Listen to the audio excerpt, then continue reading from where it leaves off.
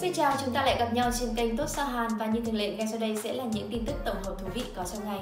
Thay đổi kiểu tóc là một trong những cách thức mà Sa Hàn thường xuyên áp dụng nhất để có thể làm mới bản thân mình và trong đó thì kiểu tóc buộc nửa đầu đơn giản mà siêu đẹp được ưu tiên nhiều nhất. Và ngay sau đây chúng ta hãy cùng điểm qua những ngôi sao có kiểu tóc buộc nửa đầu gây ấn tượng.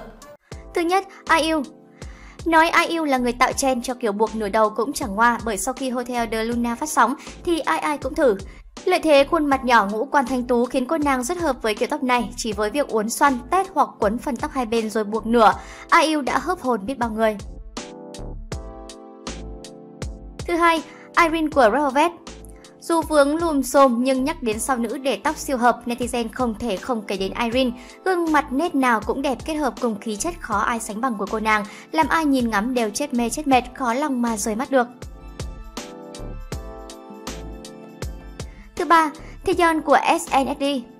Chẳng có kiểu tóc nào làm khó được Taeyeon và dĩ nhiên kiểu buộc nửa đầu cũng không ngoại lệ. Màu tóc vàng bạch kim huyền thoại kết hợp cùng kiểu tóc điệu đài này làm nữ thần tượng đẹp đến độ khiến fan xỉu lên xỉu xuống. Thứ tư, Nayeon của Twice trên sân khấu của lễ trao giải Mama 2020, cô nàng center của Twice đã làm dân tình được fan dậy sóng khi xuất hiện với kiểu tóc xoăn buộc nửa đầu khoe visual đẹp lung linh. Ngoại hình trẻ trung tươi tắn quả thật đã làm ai nấy quên mất rằng Nayeon mới là chị cả, là người dư nhất nhóm. Thứ năm, Yuna của SNSD Đâu phải tự dưng mà Yuna lại trở thành tường thành khi nói về visual nhóm nữ, hơn chục năm vẫn chẳng rớt đài. Dù là tạo hình nào, kiểu tóc gì đi chăng nữa thì nữ thần tượng đều cần được, dĩ nhiên là bao gồm cả kiểu buộc nửa đầu. Thứ sáu, Blackpink Cả bốn mẫu Blackpink đều thử qua kiểu tóc buộc nửa đầu và không nằm ngoài dự đoán, người nào người nấy đều gây sốt. Nhan sắc nổi bật cùng khí chất đỉnh của Chop làm dân tình không khỏi há hốc mồm khi nhìn ngắm. Tạo hình cực phẩm của chị cả Jisoo trong màn trở lại với highlight được giới trẻ cosplay rầm rầm.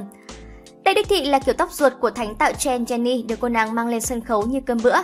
Buộc nửa đầu kết hợp cùng với phần mái bằng bất di bất dịch giúp Lisa trông trẻ trung nhưng cũng chẳng kém phần đáng yêu và nữ tính.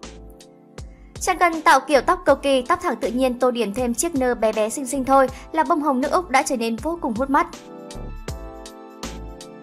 Thứ bảy, Seo Ye Chi Tiên nữ Seo Ye Chi cũng không tài nào bỏ qua kiểu tóc hot hit này. Tuy nhiên điểm khác biệt là cô nàng này lại mang đến cảm giác sang chảnh nhưng không kém phần quyến rũ ma mị, thay vì đáng yêu hay là tươi tắn.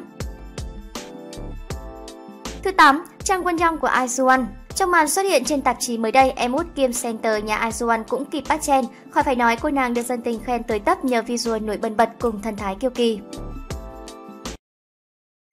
Chúng mình là Tốt Sa Hàn và bạn đừng quên like, share cũng như subscribe để cập nhật những tin tức mới nhất có trong ngày nhé. Xin chào và hẹn gặp lại trong những video tiếp theo.